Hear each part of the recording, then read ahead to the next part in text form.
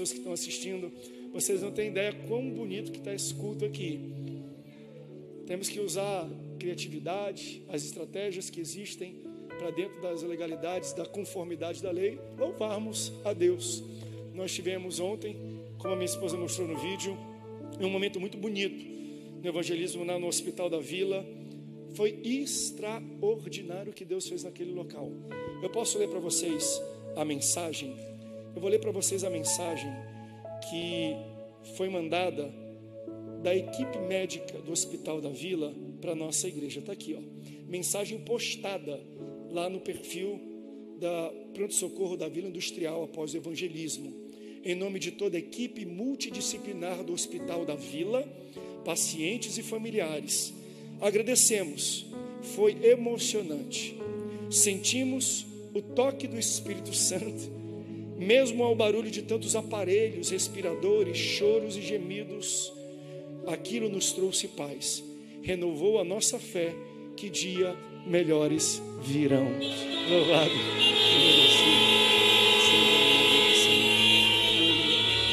Aleluia, aleluia.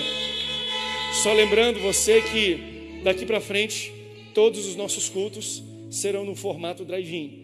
Se você está em casa, quer vir na segurança e participar na terça-feira, na quinta-feira, domingo, nove da manhã, 16 horas e às 18 horas, você é o nosso convidado para estar com o seu carro buzinando, louvando, cantando ao Senhor Jesus. Amém? Sem buzina agora, sem buzina. Amém? Deu para vir, deu para vir. Amém. Abra sua Bíblia no Evangelho de Jesus, segundo escreveu Mateus Mateus capítulo 7. Nós estamos na série sobre a Bíblia, nós estamos escrevendo a Bíblia, nós estamos aprendendo mais sobre a Bíblia, e hoje a série que eu escolhi para fazer um paralelo na Bíblia e mostrar que na Bíblia é melhor, talvez seja uma das séries mais renomadas da história da televisão. É uma chamada Friends, de amigos. Existem dez temporadas desse, dessa série, que é uma das mais famosas. E ela conta a história de seis amigos. Conta do Rachel, do Ross, da Phoebe, da Mônica, do Chandler e do Joey Tribbiani. São seis amigos, três mulheres, três homens. A maioria do tempo a convivência deles é dentro de um café e nos quartos que eles compartilham em pessoas que moram na cidade de Manhattan, nos Estados Unidos. E é interessante que nessa trama deles existe o engraçado, existe o esquentado, existe o inteligente, o burro, existe a paz e amor, existe a que cozinha bem, e aquilo remonta um pouco de amizades.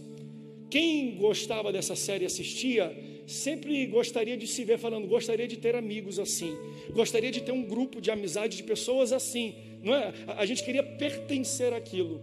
Então eu quero mostrar na Bíblia quais são os critérios que eu e você precisamos ter e ver, estarmos atentos no momento de escolher amizades e pessoas para nos relacionarmos. Como é que são os friends? Como é que a Bíblia deve me indica que eu devo escolher os friends e as pessoas com que eu vou abrir a minha intimidade, contar os meus segredos, os meus dramas, as minhas conquistas? Como é que é? E eu quero ler junto com você. Mateus capítulo 7. Vamos ler a partir do versículo 16, do 16 ao 20. Mateus 7, 16 fala assim, ó: por seus frutos os conhecereis. Porventura colhem-se uvas do espinheiro ou figos dos abrolhos? Assim toda árvore boa produz bons frutos, e toda árvore má produz frutos maus. Não pode árvore boa dar mau fruto, e nem árvore má dar frutos bons. Toda árvore que não dá fruto bom, corta-se e lança-se no fogo. Portanto, pelos frutos os conhecereis. Se você ama a Bíblia Sagrada, diga: Eu amo a palavra de Deus. Se nós hoje formos perguntar para pessoas, como é que você classifica, filtra, qual é o critério que você tem para buscar e encontrar pessoas para se relacionar, para ter amizade? Na grande maioria das vezes, as pessoas vão falar assim: ah, eu busco alguém que é gente boa, alguém que é alto astral, alguém que é tranquilo, alguém que é bem-humorado, alguém que é ambicioso, alguém que não é esquentado. Toda vez que a gente pergunta isso, pessoas vão falar algumas características assim. E se você parar para perceber, a maioria das qualidades que serão citadas por essas pessoas não tem nada a ver com caráter. E a gente tem que começar a abrir o olho, porque amizade e relacionamento é avaliação de caráter. Nós devemos procurar e buscar pessoas para nos relacionar, para namorar, para noivar, para casar, para estar ao nosso redor, não baseado no que muitas pessoas pensam, eu quero alguém engraçado, eu quero alguém gente boa, eu quero alguém tranquilo. Isso são características de personalidade. E personalidade pode mentir, caráter nunca mente. Toda vez que você for pensar intencionalmente em buscar pessoas que vão te rodear, você tem que começar a olhar características do caráter da pessoa, ao invés de buscar personalidade. Você quer encontrar amigos de verdade? Não procure personalidade, procure caráter. Ah, mas ele é bem-humorado. Eu não conto o meu segredo, eu não abro a minha vida para alguém só porque essa pessoa é engraçada. Ah, pastor, mas ele me faz rir demais. Então se abre, conta os seus segredos para ele, que se ele não tiver bom caráter amanhã, a piada que ele vai contar vai ser sobre a sua vida e os segredos que você deu para ele.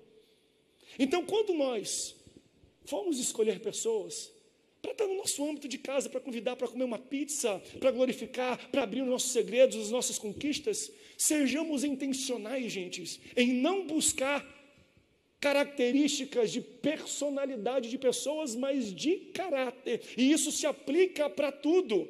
Nós lemos aqui em Mateus, ele estava falando com mestres da lei. Da, da lei não estava falando necessariamente em como nós devemos escolher um relacionamento. Só que ali Jesus estava falando de um princípio. E quando existe um princípio, ele pode ser aplicado em todas as áreas da nossa vida.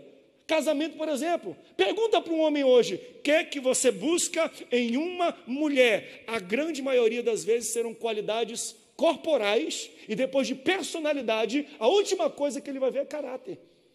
A última coisa que ele vai buscar.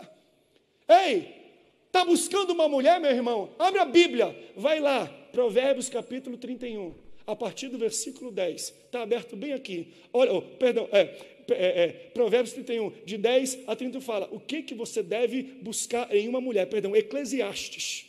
Não, Provérbios capítulo 31, perdão, está escrito aqui. Busque.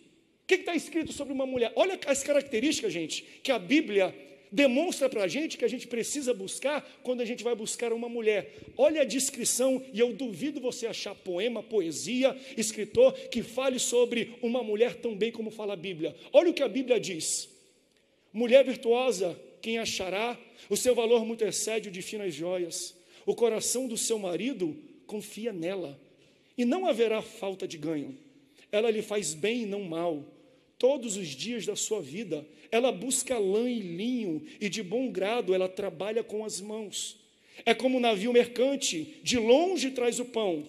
É ainda noite, ela já se levanta e dá mantimento à sua casa e a tarefa às suas servas. Ela examina uma propriedade e adquire-a. Ela planta uma vinha com rendas do seu trabalho. Ela cinge os lombos de força e fortalece os braços. Ela percebe que o seu ganho é bom a sua lâmpada não se apaga de noite, ela estende a mão ao fuso, mãos que pegam na roca, ela abre a mão ao aflito e ainda estende ao necessitado. No tocante à sua casa, ela não teme a neve, pois todos estão vestidos e agasalhados.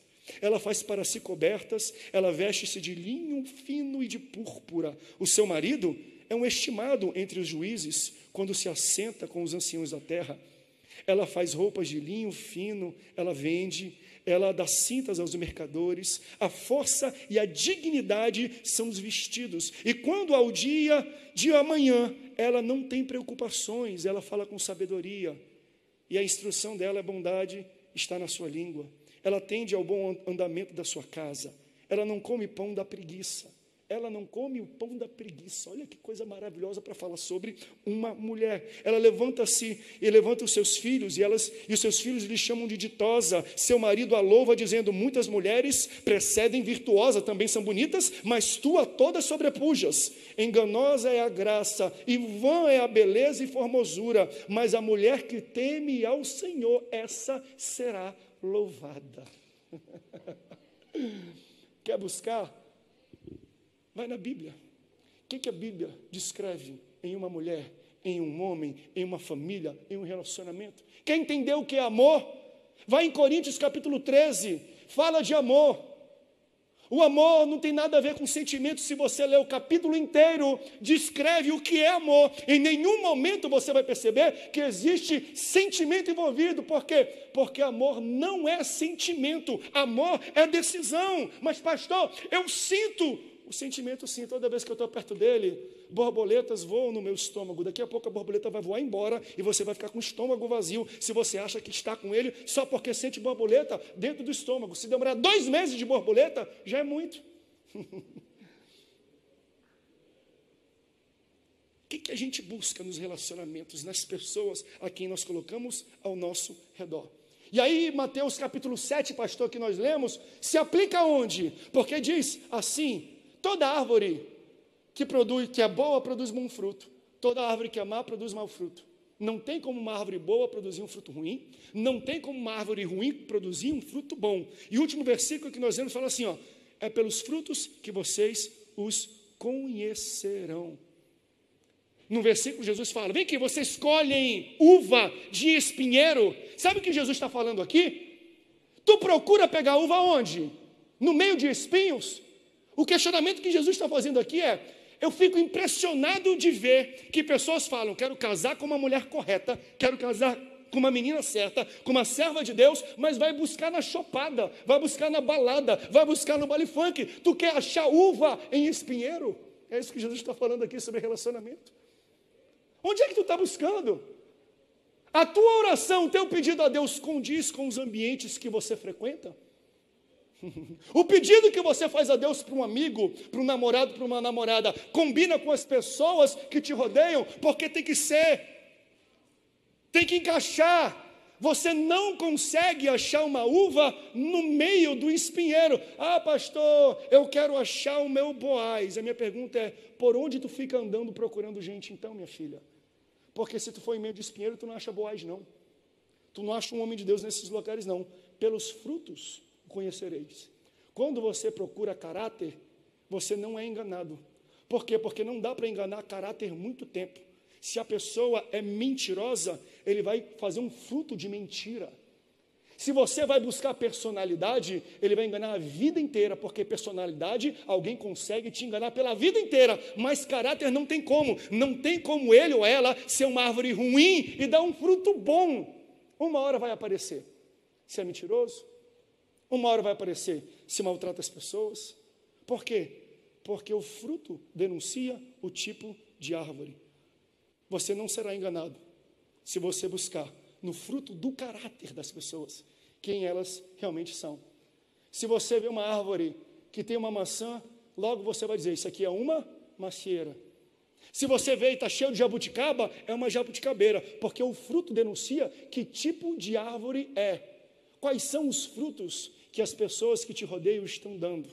O que que você enxerga nas pessoas que você está se relacionando e pessoas que você busca se relacionar, porque pelos frutos conhecereis. É o fruto que anuncia o tipo de árvore que existe. Então, se você precisa, e se você está me ouvindo e entendendo, diga um glória a Deus aí. Se você precisa ficar me lembrando toda hora quem você é, há uma grande chance que você não seja isso que você está dizendo. Sabe aquelas pessoas que têm que ficar falando, não, porque eu sou assim, não, porque eu sou uma pessoa correta, eu sou uma pessoa que não minto, eu sou uma pessoa que não desvio.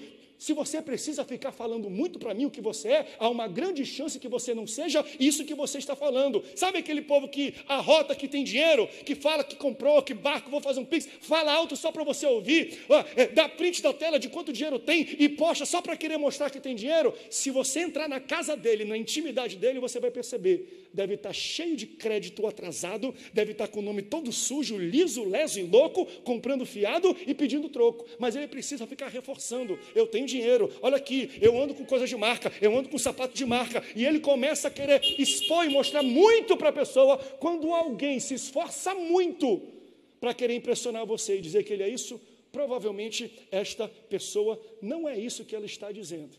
E segura essa. Agora vai para a gente aqui na igreja.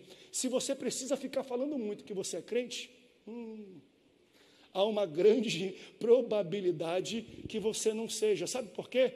Porque quando alguém é uma árvore boa, eu chego perto e já vejo o teu fruto. Tu é crente não porque você me diz que você é crente, você é crente porque você tem frutos que denunciam um caráter de um homem e de uma mulher de Deus. Então, não vem querer me convencer com palavras, não vem querer me convencer com justificativa, algo que a sua árvore não está mostrando.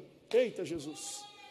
Está cheio de gente querendo falar, se justificar, mas você olha para a árvore, cadê esse fruto? Se você é um cristão de verdade, a sua árvore deve estar cheia de frutos vistosos. É para a gente olhar e ver os frutos do Espírito. Por quê? Porque o fruto vai denunciar que tipo de árvore você é. Um cristão não precisa ficar falando muito, não precisa dar uma de santarrão, seus frutos mostram. Cadê o amor, alegria, paz, benignidade, longanimidade? Não queira, não queira que o seu fruto, não queira que eu veja o seu fruto e acho que você seja uma outra coisa. Porque também tem isso. Eu vejo o fruto de um cara, não, não sou isso não. Isso aconteceu, não, não, não, não. É pelo fruto que eu vou conhecer que pessoa você é.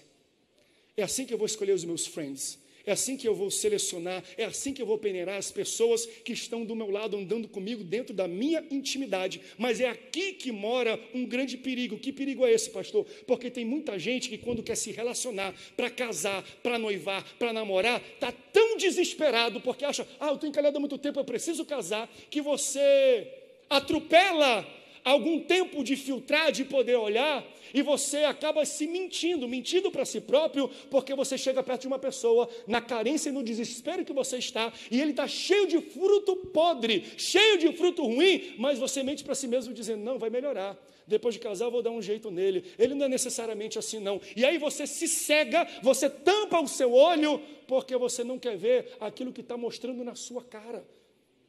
Sabe aquela música, Você não vale nada, mas eu gosto de você. Eu vou falar uma coisa. Essa música é a verdade do relacionamento de muitas pessoas. Essa música é muito verdadeira, sabe por quê? Tem duas premissas. Você não vale nada, ou seja, eu sei, eu estou vendo fruto, mas eu gosto de você. Sabe por quê? Gostar e amar não é um sentimento, é uma decisão. Você decide se você ama a pessoa. Não vem com esse papo. Ai, ele tem fruta podre, mas o cabelo dele, quando eu dava esvoaçante, vai cair o cabelo dele daqui a pouco, minha filha. Hum. É que vocês não viram em casa. A minha esposa falou: Meu Deus, é verdade. Você está tão desesperado que você não vê o fruto que está denunciando o tipo de árvore que é. O fruto está falando assim: ó, olha aqui o meu fruto, é um fruto ruim. Eu não valho nada, olha o meu fruto, eu não presto, olha o meu fruto, mas eu estou tão desesperado que eu me cego e falo: não, não, eu preciso namorar, eu preciso casar, eu preciso ter alguém do meu lado. Meu Deus, eu estou pregando para alguém aqui essa noite. Amor é decisão. Você decide amar e você decide não amar. Mas, pastor, e aquele sentimento de amor que eu tinha? Amor não é sentimento, é decisão. E aquele sentimento que eu tinha de estar com a pessoa? Ele foi embora, ele acabou. Então, mantenha firme o seu amor até o sentimento voltar. Porque sentimento vai e vem, decisão, decisão não, você decide. Você só para de amar alguém se você decidir parar amar alguém. Não vem com esse papo de eu não sinto mais. Não, foi você que decidiu não querer sentir mais, porque amor é uma decisão. Sentimentos vão e vêm. O amor permanece pela nossa decisão. Isso é tão interessante, eu postei até hoje isso. Toda vez, e eu estou há pouco tempo aqui em São José dos Campos, toda vez que alguém vai apresentar, isso aqui é o meu pastor, a reação é a mesma olham para mim e falam: Você? Pastor? Eu falei: É, tão novo, tão jovem. Tinha idade para ser meu filho, tinha idade para ser meu neto. Eu fico até feliz com isso. Eu falei: Glória a Deus. Aí fala assim: Mas eu, eu, eu, eu te chamo de quê? Eu te chamo de você, eu te chamo de pastor, eu te chamo de pastor presidente, de bispo, de apóstolo. Eu te chamo de quê? Eu falei assim: Me chame daquilo que você me vê. Eu não vou dizer para você como você deve me chamar. Você tem que olhar para os frutos que estão pendurados na minha árvore, e isso vai denunciar o tipo de pessoa que eu sou, e você me chama assim. Sabe, se você for lá em casa, os meus filhos, eles me chamam, sabe de quê? De papai. Sabe por quê? Porque eles olham para a minha árvore e eles veem em mim frutos de paternidade. A minha pergunta para você é: Quando você olha para a minha vida, para a vida da minha esposa, você vê frutos pastorais de pessoas que amam a você. Se você vê, me chama de pastor ou me chama como você quiser. Não sou eu que tenho que falar para você como você deve me chamar. É você que tem que olhar para os meus frutos e os meus frutos vão denunciar que tipo de pessoa que eu sou. É por isso que eu falo assim: ó, toma muito cuidado com pessoas que falam assim: não me chama de pastor, não, me chama de apóstolo, me chama de pastor presidente. Porque quem quer te forçar a identificar é porque não quer que você examine o fruto que ela tem. Ai, meu Deus.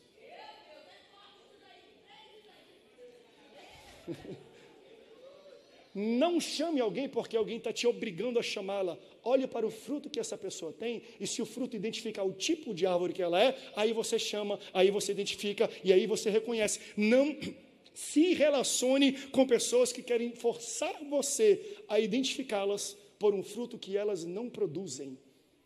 Tem muita gente, me chama, falou isso aqui, mas você não produz esse fruto. E eu vou entrar numa parte crítica da mensagem. Isso aqui é muito crítico, e você precisa entender. Qual é a diferença então, pastor? O Friends são seis amigos. Eu falei da postura de cada um, eu falei da personalidade de cada um, eu não entrei no caráter, porque quem entra no caráter é a Bíblia. Mas você tem que entender o seguinte: que existem muitos tipos de relacionamento e de amizade, e cada um desses tipos de relacionamento, de amizade, tem parâmetros únicos inerentes ao seu estilo e ao seu espaço de ser. Então você precisa primeiro entender os tipos de relacionamento, para depois identificar quais são os parâmetros, as leis que regem esse relacionamento para você depois ver pessoas e colocá-las na categoria correta. Sabe uma coisa que eu creio, e é muito forte: tem muita gente aqui que odeia pessoas que passaram na sua vida, que a culpa não são delas, são suas, porque você colocou essas pessoas em lugares, em espaços, em categorias onde elas não foram feitas para estar e suprir uma necessidade sua ao colocar naquele local. Quer ver, que eu, quer, quer ver eu responder isso de maneira muito simples? Mulher. Casamento. Pastor, eu era infeliz. Aí eu achei ela. E eu pensei que ela ia me completar, e ia me fazer feliz. Aí eu casei com ela, eu casei com ele, tanto faz. E agora, depois de um ano, dois anos, três anos, eu continuo não sendo feliz. Sabe por quê? Você não entende por que, que Deus te deu um marido ou uma mulher. Marido e mulher não é para você fazer para fazer você feliz. O intuito da criação de um homem, de um, de um esposo para uma esposa, não é fazer a esposa feliz. Deus vê o homem sozinho e Deus fala assim: ó, não é bom que o homem esteja infeliz. Foi isso que Deus disse? Não, sabe por que Deus não disse infeliz? Deus disse só porque o homem já era feliz. Ele estava em comunhão com Deus, num jardim sem pecado. Só quem pode fazer o homem e a mulher feliz é Deus. Se você colocar aquilo que é atribuição de Deus para uma pessoa, você sempre vai se frustrar. Você sempre vai se frustrar. Por quê? Porque eles não foram feitos para ser colocados nessa categoria. Não é bom que o homem esteja só. Eu preciso desenhar. Para que, que uma esposa ou um esposo foram feitos? Para tirar minha solidão. Farei a ele uma companheira, adjuntora, parceira. Eu não sei qual é a versão que você tem. Ajudante. Para que, que então serve uma mulher? Para ser a tua companheira. Para que, que serve um homem? Para ser um teu companheiro. Você está infeliz, mas você tem companhia na sua infelicidade. E quem sabe essa pessoa vai falar: Vamos para a igreja, eu vou te levar até Deus, porque só Ele pode preencher a infelicidade do teu coração. Eu não posso, eu não fui criada para isso. Então, se você me coloca nesse nesse espaço, nessa categoria, eu nunca vou suprir as necessidades, não por minha falta ou erro, mas por erro, erro seu, em colocar em mim uma expectativa da qual eu não fui criada para suprir. Aleluia, aleluia. Uma mulher não pode oferecer o que ela não tem, e um homem não pode oferecer o que ele tem ou não tem. Primeiro você precisa entender a função de um amigo de um esposo, de uma esposa, do que é um relacionamento. Se eu não entendo para que, que existe um casamento de duas uma, ou vou subutilizá-lo, ou vou abusar dele. Eu vou fazer uso anormal dele, porque eu tenho que entender para que, que Deus criou o casamento, o relacionamento entre duas pessoas. Para que, que Deus criou os amigos? Quais são as categorias de amigo? Então tem muita gente que você botou na categoria de bloco de eu odeio, que você tem que tirar, não por culpa deles, por culpa sua. Você colocou eles em um patamar que eles não foram feitos para preencher. E aí você se frustra. Ah, não consegui fazer isso. Por quê? Não foi feito para aquilo. Quer ver uma coisa que vai trazer uma clareza muito grande quanto a isso? Quantas pessoas eu não aconselho aqui falando, pastor, ora por mim porque eu estou pensando em mudar de trabalho. Eu falo, rapaz, na pandemia quer mudar de trabalho. Eu não aguento mais, eu não consigo fazer amigo no meu trabalho. Ei, trabalho não foi feito para você ter amiguinho, não. Eu estou sendo muito cru, muito forte, muito direto. Sabe o que é trabalho? Eu vou resumir para você. Trabalho é me dar dinheiro no fim do mês, porque eu estou trocando o meu talento e o meu tempo por você. E eu não tenho o dinheiro que você tem, mas você não tem o talento que eu tenho. Então eu te dou meu talento e meu tempo e você me dá o dinheiro. Pronto, isso é trabalho. O grande problema é que a gente quer Deus pode dar amigos, vamos lá, Deus pode dar amigos no trabalho, claro, mas o trabalho, o ambiente de trabalho, não é feito para você ter confidentes, melhores amigos, é feito para você trabalhar e no fim do mês, show me the money, bota o dinheiro, bota o tutu, porque eu preciso pagar a conta. Cuidado para você não colocar o ambiente de trabalho em um espaço que ele não foi feito para suprir. Trabalho não é local para você fazer amiguinhos, você até pode, mas ele não foi feito para isto. Amigos não foram feitos para dormir, transar e ter sexo com você. Porque você está colocando esse relacionamento em um espaço, em um patamar que ele não foi feito para fazer. E você vai se frustrar, por quê? Porque eles não podem oferecer para você o que você quer dele, porque relacionamento é amizade.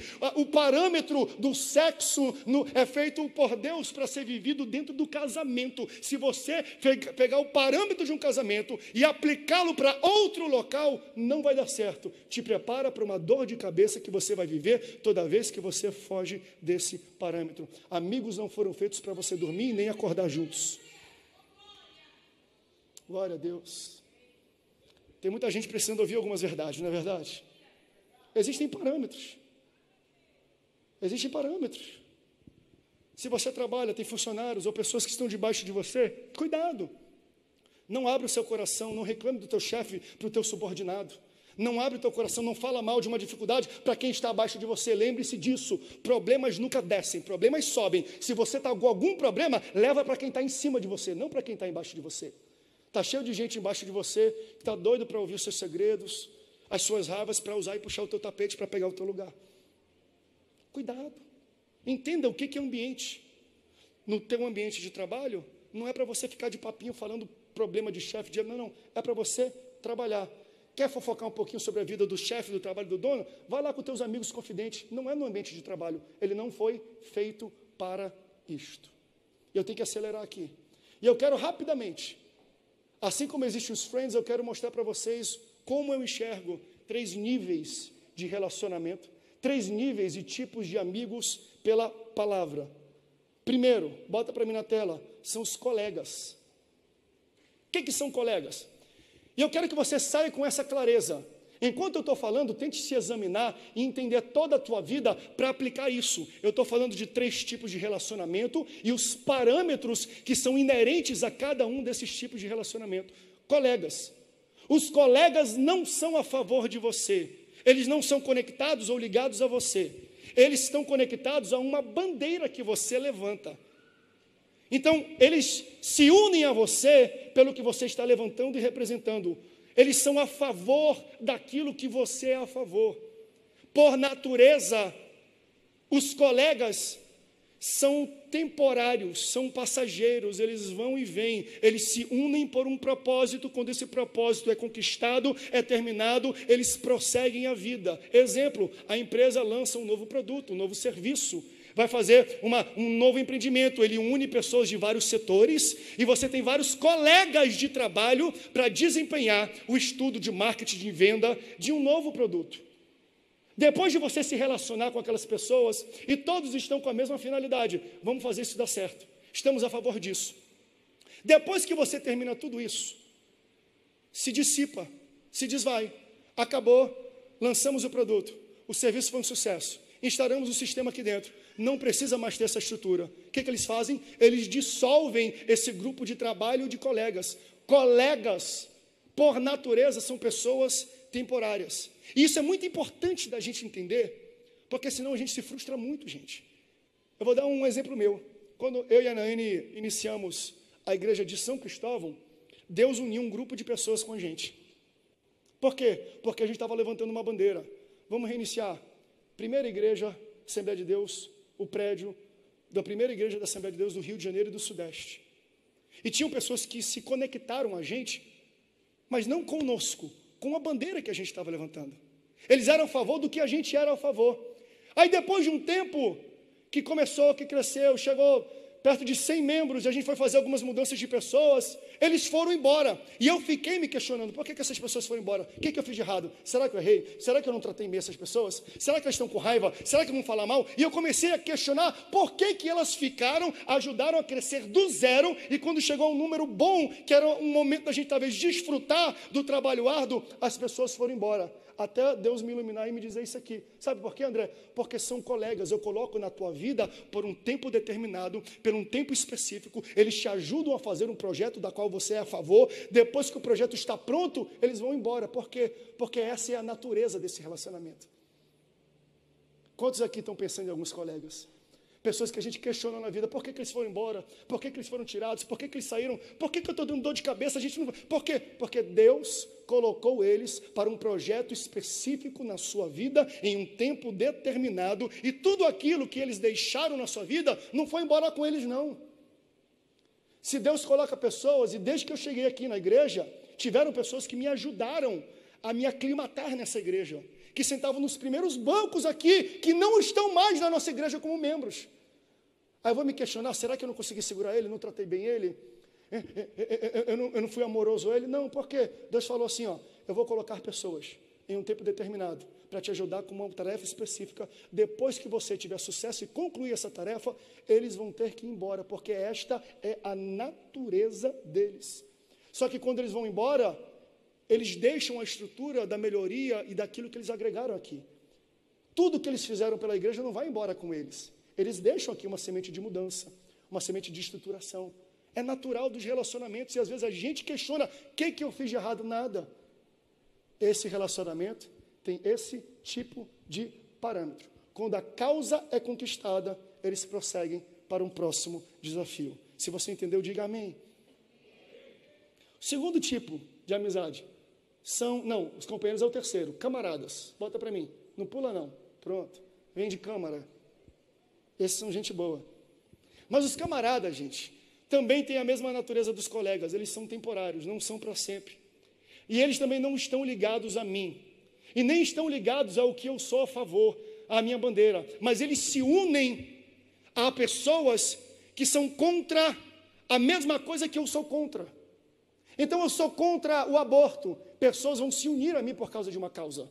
Eu sou contra a desigualdade social. Então, outras pessoas que não têm nada a ver comigo se unem a mim por causa de uma causa que eles também são contrários. Eu sou contra a fome, eu sou contra várias coisas que acontecem e eu sou unido a pessoas que se unem a mim, se juntam a mim, andam do meu lado, são meus camaradas, porque eles são contrários às mesmas coisas que eu sou contrário. Vou te dar um exemplo: Estados Unidos e China, nações por natureza, são dissidentes, discordam, são inimigas. Aí vem o coronavírus.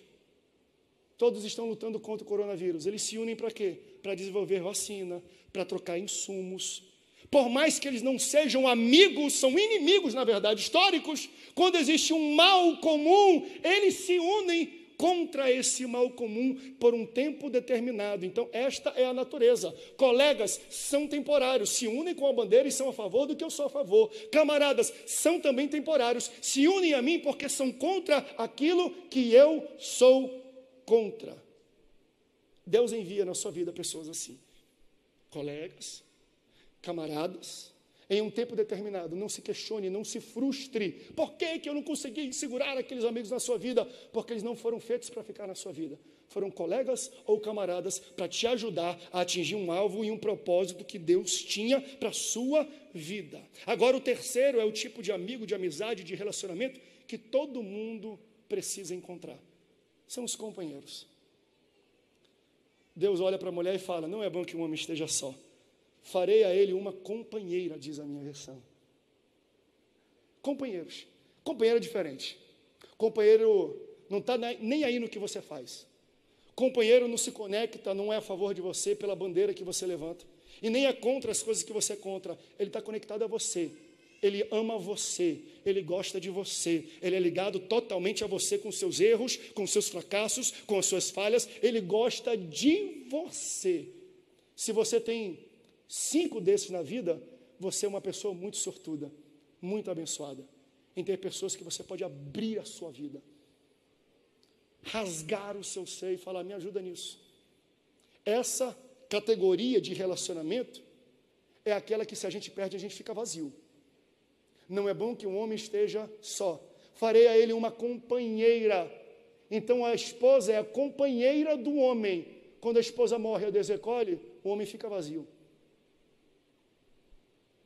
Porque colegas e camaradas vão e vêm. Você até acha que está vazio, mas não está, não, porque Deus manda um outro colega, Deus manda outro camarada, Deus manda, manda outra pessoa para suprir, mas companheiro não.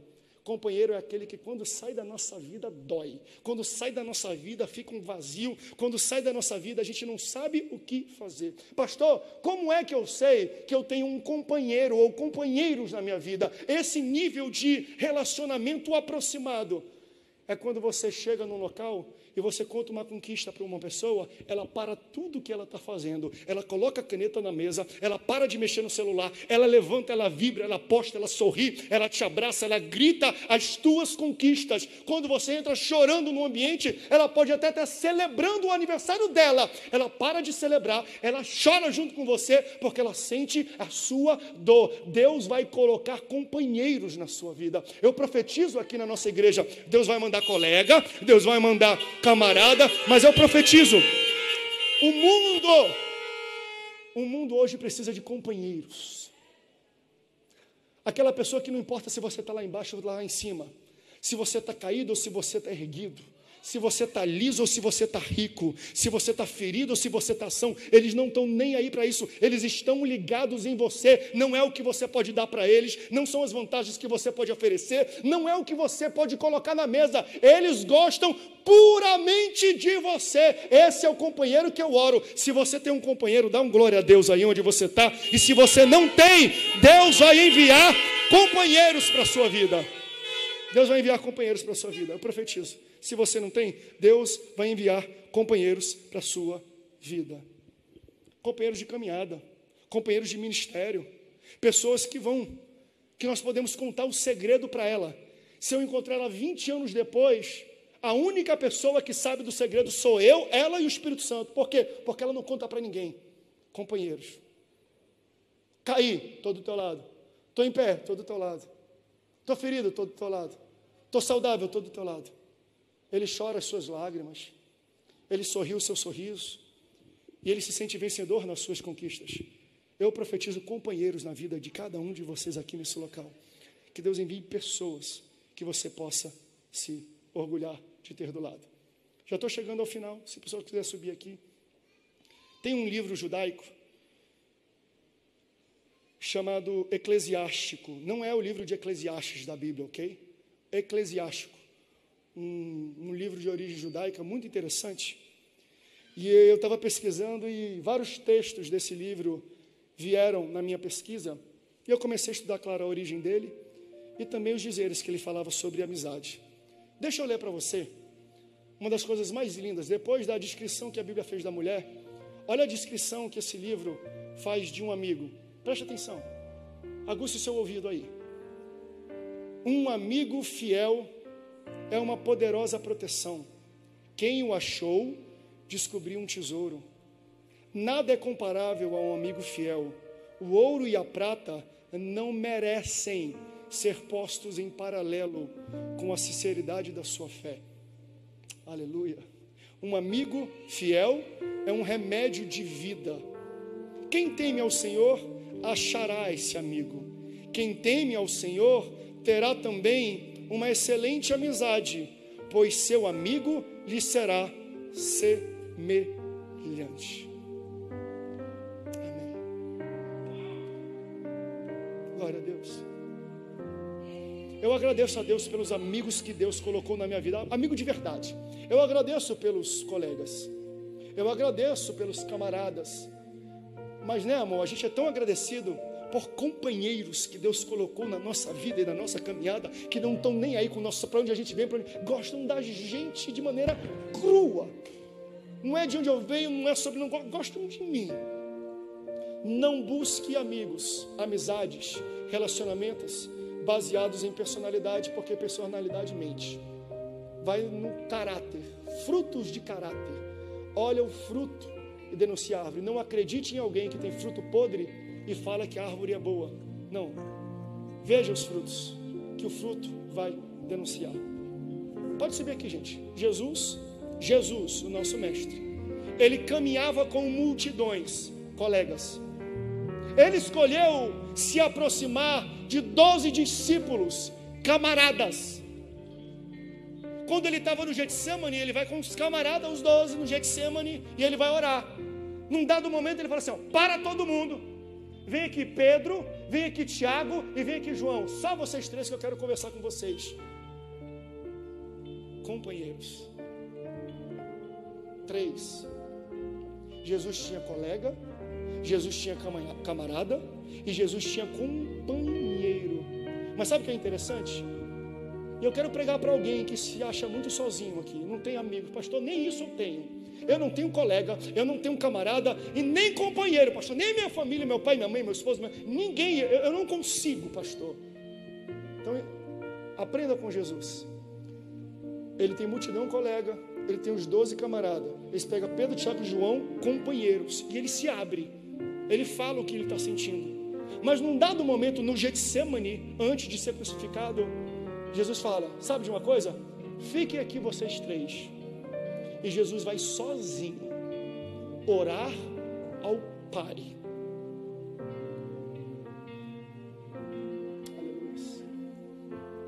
Eu vim aqui para te dizer que se te falta ombro amigo na terra, nunca vai te faltar ombro amigo no céu. Você pode se sentir a pessoa mais isolada do mundo, mais sozinha do mundo. Pastor, não tenho família, eu não tenho colega, eu não tenho camarada, nem companheiro eu tenho, pastor. Tu tem um pai que te ama e ele está no céu. Ele nunca vai se recusar em te ajudar, em te abraçar, em te levantar. Jesus não gosta pelo que você pode dar para ele, não. Deus não gosta de você pelo que você pode fazer por ele, não. Ele gosta de você por quem você é. Eu profetizo que Deus vai colocar pessoas na sua vida que vão transformar a sua vida. Eu profetizo para todos vocês aqui no carro, todos vocês em casa. Deus vai colocar pessoas que serão um bálsamo. Como diz aqui, um amigo fiel é uma poderosa proteção. Quem achou descobriu um tesouro. Nada é comparável. Essa frase é muito maravilhosa. Nada é comparável a um amigo fiel. O ouro e a prata não merecem ser postos em paralelo com a sinceridade da fé de um amigo. Não queira comparar amigo com ouro nem com prata, porque porque não vale nem a pena. Ele é muito mais valioso. Eu profetizo isso na sua vida. Se cerque de pessoas que sejam companheiras suas e como é que eu vou, pastor, achar essas pessoas? Olhando o fruto do caráter. Olhe para o fruto dele para conhecer a árvore. Não seja ludibriado por personalidade. Isso pode te mentir. Eu termino aqui a primeira temporada de Friends na próxima terça. Eu vou falar da segunda temporada e dar continuidade nisso por causa do tempo. Eu espero que você tenha sido abençoado aí onde você está. Eu espero que vocês aqui no carro tenham sido abençoados. Deus vai colocar pessoas assim na nossa vida, amém? Se você recebe, Deus quer te ajudar. Quando Deus quer abençoar alguém, Ele dá coisas. Quando Deus quer mudar a vida de alguém, Ele dá pessoas. Deus vai te dar pessoas em nome de Jesus. Deus vai te dar pessoas em nome de Jesus. Deus vai colocar pessoas, companheiros, gente fiel, gente íntegra, gente correta, gente que ama você. Deus vai enviar essas pessoas na sua vida. Porque todo aquele que invocar o nome do Senhor será salvo. Como, pois, invocarão aquele em quem não creem? E como crerão naqueles de que não ouviram? E como ouvirão, se não há quem pregue? E como pregarão, se não forem enviados? Como está escrito: Quão formosos os pés dos que anunciam o evangelho de paz, dos que trazem alegres novas de boas coisas. Mas nem todos têm obedecido ao evangelho, pois Isaías diz: Senhor, Quem creu na nossa pregação? De sorte que a fé é pelo ouvir, e ouvir pela palavra de Deus. Romanos capítulo 10, versículo 13 ao 17.